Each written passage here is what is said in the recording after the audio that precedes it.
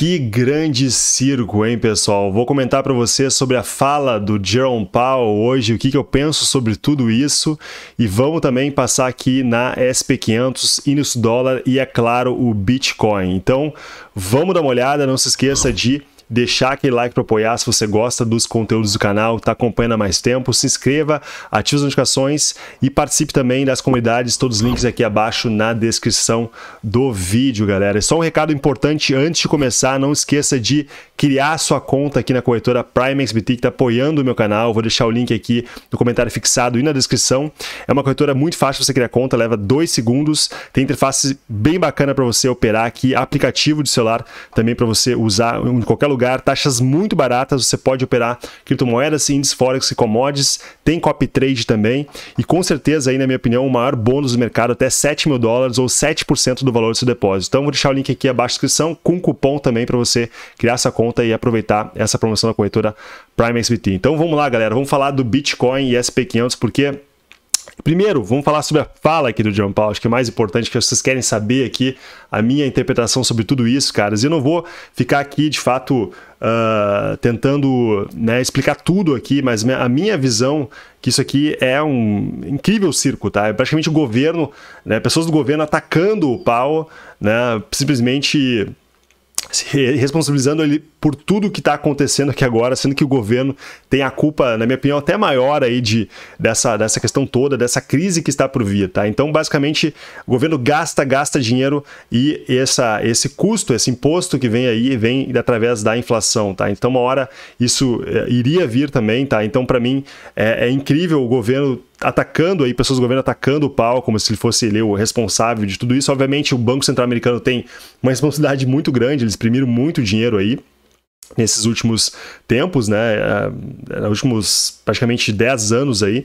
Então, uh, mas é, é basicamente o governo gastando mais e o Banco Central Americano pedindo para o governo gastar mais, aumentando o teto de gastos, tá? Então, para mim, é, vocês estão aqui agora é, tendo a a visão aqui, né, o caminho e vendo a história do colapso do dólar acontecendo, tá? Então é impressionante. Eu tive que assistir duas vezes isso aqui para poder, porque algumas coisas não estava nem acreditando que eles estavam falando, tá? Realmente é, é, é, impressionante. E aí vocês podem ter certeza que o dólar está indo para um caminho aí sem volta. Na minha opinião, a gente está sim ao caminho de uma recessão e de uma crise muito maior do que a gente viu lá em 2008. Tá? Algumas pessoas não acreditam nisso, mas realmente o que está por vir, na minha opinião, é bastante complicado. Por isso, eu venho falando para vocês o tempo todo, algumas pessoas né, zombando, rindo aí, né, falando que a gente vai voltar agora no bull market, enfim, porque a gente tem o halving lá em 2024, enfim. Eu acho que é importante essas questões de on-chain, análise de sentimento, análise gráfica do Bitcoin, mas, caras, não esquecer que a correlação do Bitcoin com a SP500 ela é extremamente grande, tá? Então, eu estou considerando muito mais a, a, nas minhas análises aí, na minha meu posicionamento no mercado, a questão do macro do que olhar simplesmente indicadores de sentimento, análise, análise gráfica, enfim, é, porque, caras, não tem jeito, tá? O mercado voltando a corrigir aqui a SP500 perdendo essa região aqui, na minha opinião, essa zona aqui dos 3.800 pontos, vai ser muito péssimo aí. O Bitcoin tem grandes chances de voltar para casa dos 18 mil dólares, pelo menos, tá? Que eu mostrei para vocês na última análise aqui do vídeo, tá bom? Então, é, para mim, né? Inclusive o mercado já começou aqui, olha só, CME aqui no CME precificando já, o mercado já já estimando aqui que 75, 70% de chance da taxa aumentar aqui em 50 basis points na próxima reunião, pessoal. O mercado eu acho que não estava precificando isso e vai precificar nesse momento. Essa é a minha visão, tá bom? Então, caras, para mim a SP500 começou aqui agora uma, uma correção e essa correção, na minha opinião, vai continuar aqui, a gente vai perder essa região de suporte, que é essa linha, né?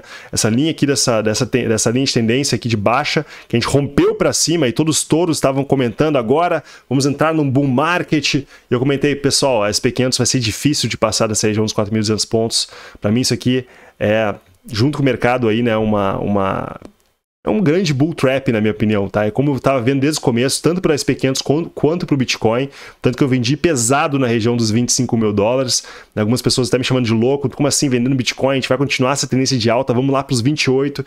Falei, cara, primeiro eu vou garantir aqui o meu lucro, porque eu não sei se vai para 28, tá? Não sei.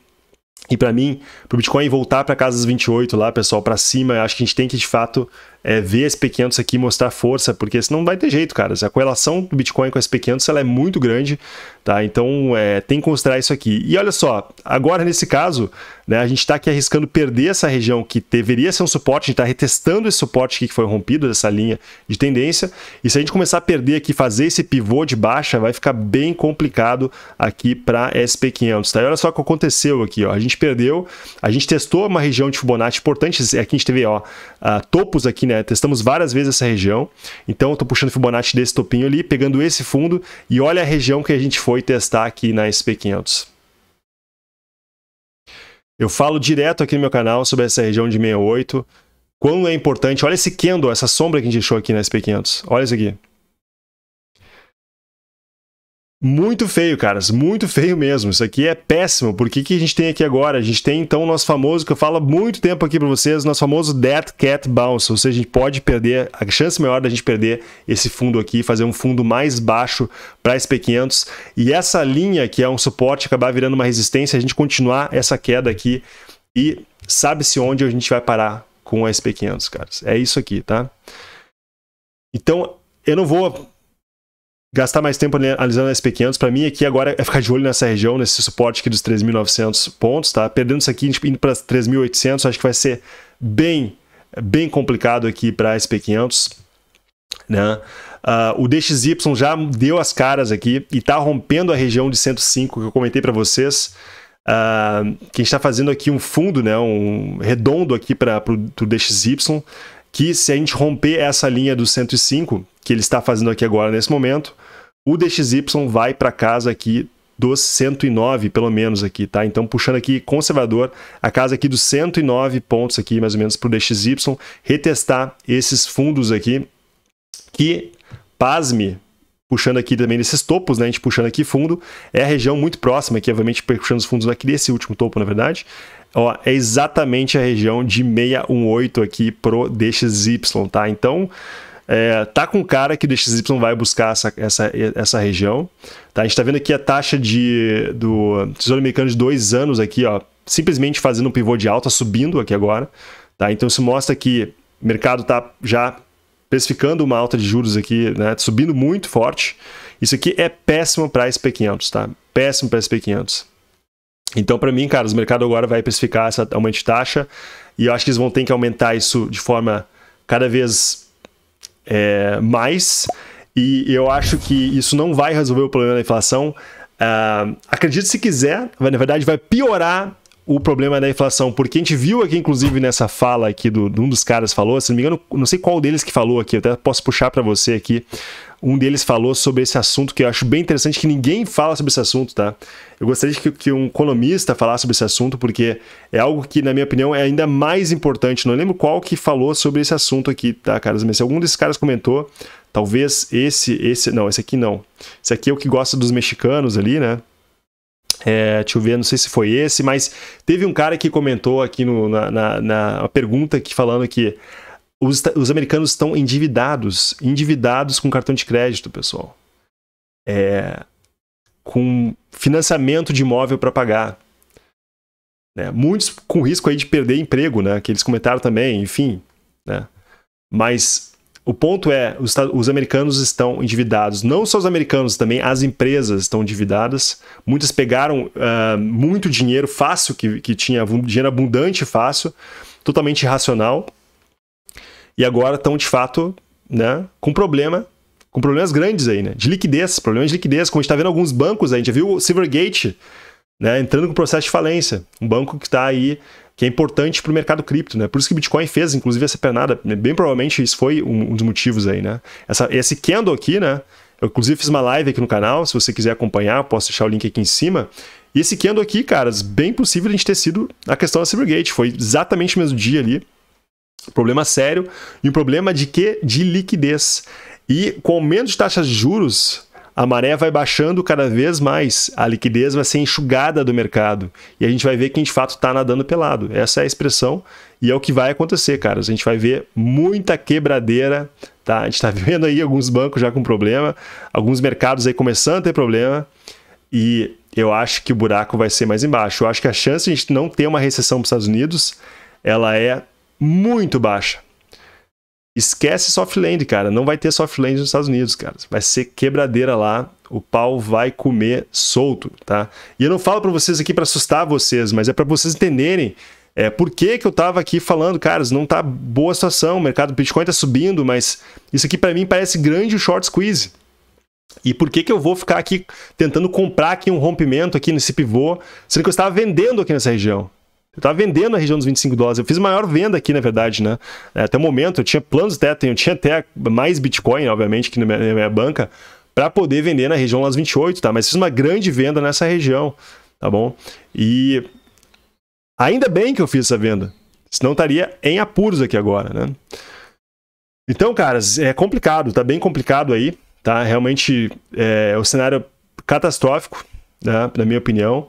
E amanhã a gente vai ter mais uma fala do Jerome Powell, né? Acho que, se não me engano, aqui vai ser, então, ao mesmo horário, vai ter outra fala do Jerome Powell é, amanhã, deixa eu dar uma olhadinha aqui.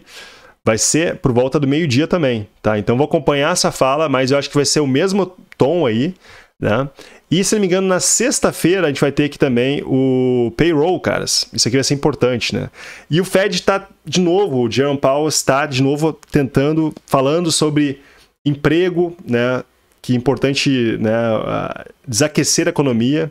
O mercado de trabalho está muito apertado ainda. Na minha opinião, isso não vai resolver o problema da inflação, cara. O problema da inflação ele é muito. É, o problema é muito maior. Eu posso fazer um vídeo para você sobre isso também, qual é o meu entendimento.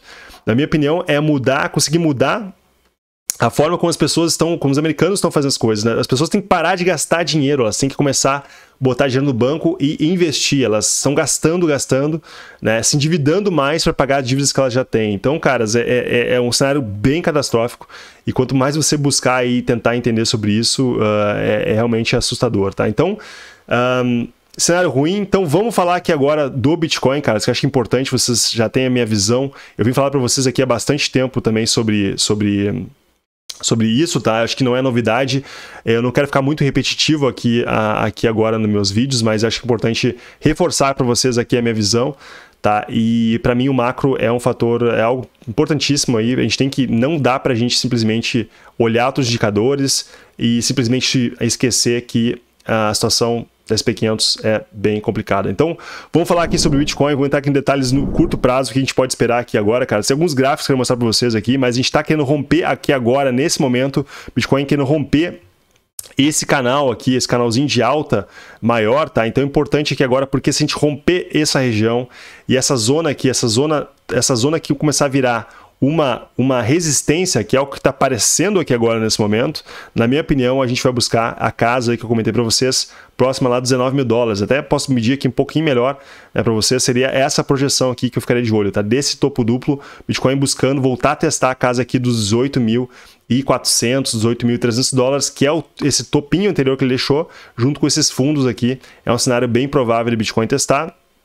Ou seja, voltar aqui nessa região de baixo do canal. A gente tem um canal embaixo aqui, o Bitcoin poderia voltar para essa zona próxima dos 18 mil dólares. Né? A gente vai ter que ver como vai, como o Bitcoin, se ele voltar para cá, como ele vai voltar, tá? Porque ele pode voltar é, de certa forma bullish ou bearish, tá? Vai depender muito dos indicadores e como vai estar também a SP500 aí, tá? Mas na minha opinião, cara, as grandes chances disso aqui, chances disso aqui dessa subida, né, ter sido aí, eu acho que, ao meu ver até agora, a gente rompendo aqui e configurando esse topo duplo, é, perdendo a região dos 21.500, para mim está na cara que isso foi uma grande, um grande bull trap, tá? E eu venho falando para você sobre isso e estava avisando que eu estava vendendo, tá bom? Eu acho que é, eu acho que eu tive coragem de falar para vocês exatamente o que eu estava pensando, tá? Acho que muitas pessoas. É muito fácil você. Bitcoin tá subindo e ficar bullish aqui, falar que o Bitcoin vai lá para 28, 40 mil dólares. Uh, ganhar mais visualizações no meu canal, mais inscritos. Cara, eu não vou fazer isso. Eu vou falar para vocês que eu acho que, que vai acontecer. E na minha opinião, isso aqui, sim, tem grande cara aí ser um grande bull trap aí. Eu estava protegendo aqui o meu capital e tentando avisar vocês também. Porque eu venho fazendo meu dever de casa, pessoal. Estou dia e noite aqui olhando, estudando sobre tentando estudar sobre macro, fiz curso de economia lá do, do Igor Mundstock também, fiz tudo que eu podia fazer para poder entender, tá? Busquei outros, uh, outros uh, analistas, tá? Todo dia inteiro escutando aí podcasts sobre isso, tentando ler sobre o assunto e na minha opinião, é, valeu a pena, tá? Valeu a pena estudar, tá compensando aqui agora nesse momento para mim, pelo menos. Então, caras, é, esse aqui é o cenário ruim, tá? Então vamos olhar aqui o curto prazo, baixar o tempo gráfico um pouquinho do Bitcoin. Deixa eu pegar um outro gráfico aqui, tá um pouquinho melhor, tá menos poluído que esse aqui. Tá? Mas basicamente que no curto prazo, o Bitcoin perdendo essa, esses últimos fundos aqui, tá? Porque é, é, importante, a gente tem um volume muito grande, a gente está perdendo aqui agora essa região, tá? Que a gente teve esse volume. Então, é, essa região vai ser crítica, na minha opinião, tá? A região aqui dos próximos dos, dos 21.800, que é inclusive esse alvo dessa bandeira aqui. Se a gente puxar aqui agora nessa, nessa, nessa bandeira que acabou formando, não foi bandeira tão bonita aqui, mas seria um alvo parecido com isso aqui, ó. O Bitcoin rompeu essa bandeira aqui para baixo, então o alvo está próximo aqui dessa zona dos 21.800 dólares e a gente está fazendo sim, tá? Estamos fazendo sim aqui divergência bullish no 4 horas para o Bitcoin. Deixa eu confirmar isso aqui porque eu vi isso mais cedo. É, na verdade agora não, agora nem tanto não. A gente está aqui realmente essa divergência não está sendo configurada mais, tá? Então para mim é, a gente está perdendo aqui essa região, mas estamos numa região de sobrecompra aqui do. sobrevenda aqui do, do RSI, chegando próximo sobrevenda, mas a gente pode ir muito mais abaixo na, aqui na minha opinião, tá bom, caras? Então, é complicado, complicado aqui agora. Pro Bitcoin, então, para buscar short pro Bitcoin, caras, na minha opinião, essa região que era uma região de suporte aqui nesse canalzinho que o Bitcoin está fazendo, né? essa região aqui do próximo dos 22 mil, vamos desenhar aqui uma linha, tá, inclusive, ó.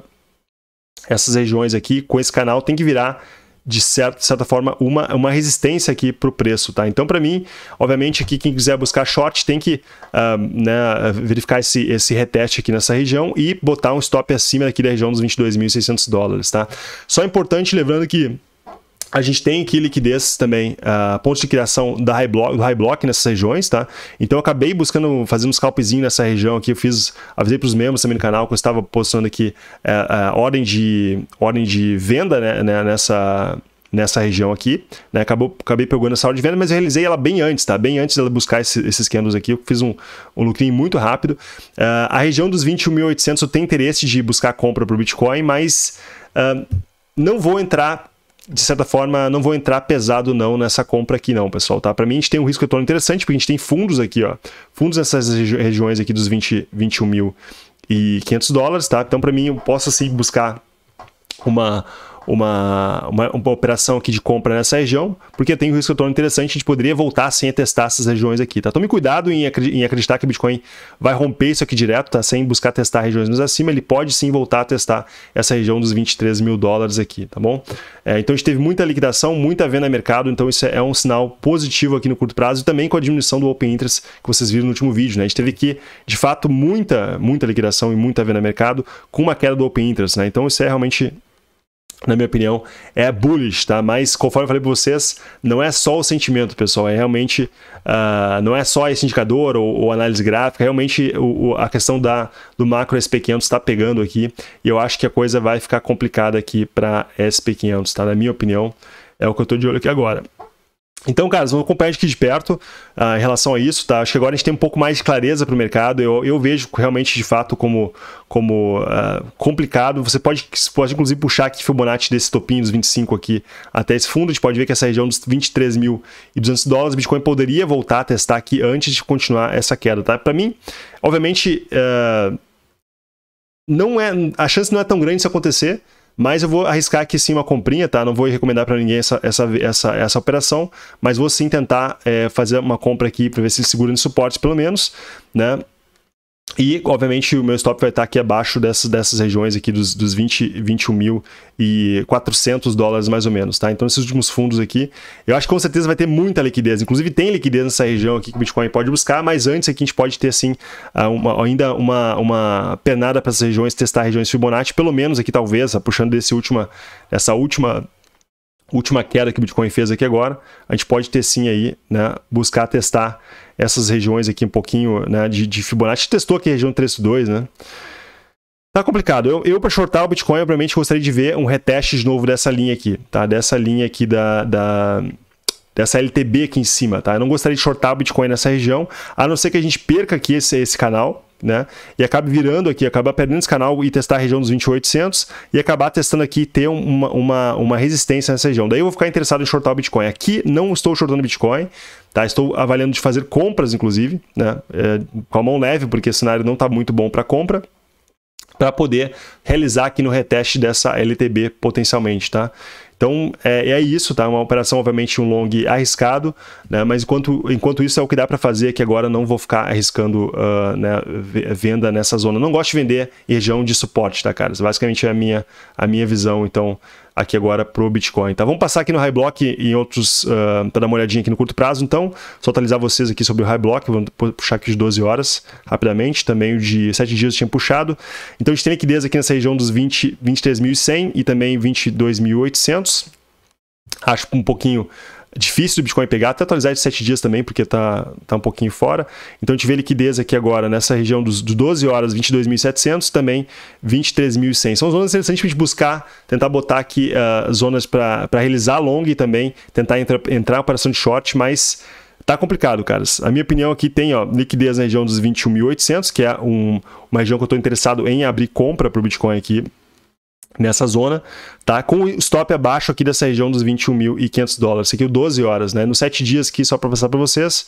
Então, tem liquidez aqui na região, região dos 21.600. Para mim, o stop tem que estar tá abaixo aqui dos 21.350, talvez, tá? Mas não estou entrando com a mão é, muito pesada aqui para tentar ver se o Bitcoin retesta aquela LTB que eu comentei para vocês, tá? Depois eu, eu vou estar, tá, obviamente, interessado em short, tá? Eu não estou acreditando que o Bitcoin vai pegar essa liquidez lá dos 20, 26 mil dólares, como anteriormente estava pensando.